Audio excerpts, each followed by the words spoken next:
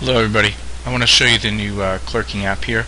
Um, I haven't deployed this to the Android store yet, but that doesn't really matter. Um, as Actually, as long as you have an internet connection at this point, you can uh, test this yourself on your phone.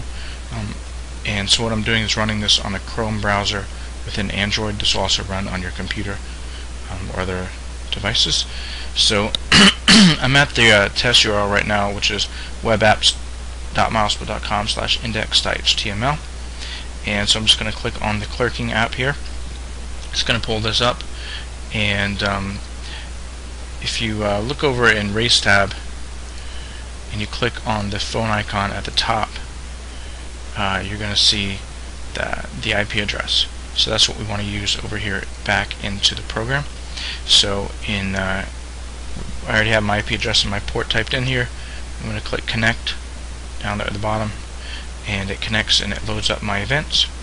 And you'll see I can click on the race I can see the heats of that race and who's in what lane. Um, so you can see I do all this stuff I can go back to the event and I can click on athletes.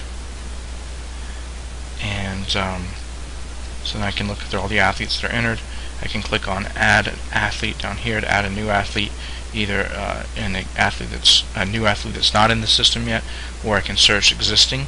So that would be if I could type in a, a name and it'll search for that name and I can put any of these athletes in that event. Or again I could add and I could add a completely new athlete.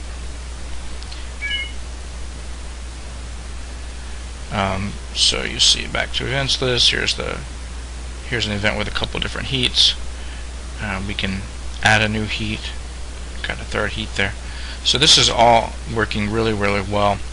Um, the main thing of this this program also well not the main thing but one of the things is these are all these athletes that get these athletes with yellow mean they're not declared yet so they're not either scratched nor checked in. So I can check them to check them in as they come up to the clerk and then uh, or I can click them again to scratch them. And I will be able to um, when I get to seating the heats here um, I'll be able to scratch all undeclared athletes. So that will uh, remove them essentially. And um, and then if I want to remove empty heats if I have a heat that's completely empty I can just click that button there and remove it.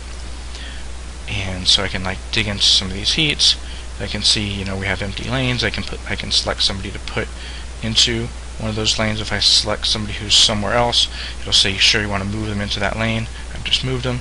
So see this is a really cool app. Um, I'm sure you can see a lot of applications for your track meets in this and hope you like it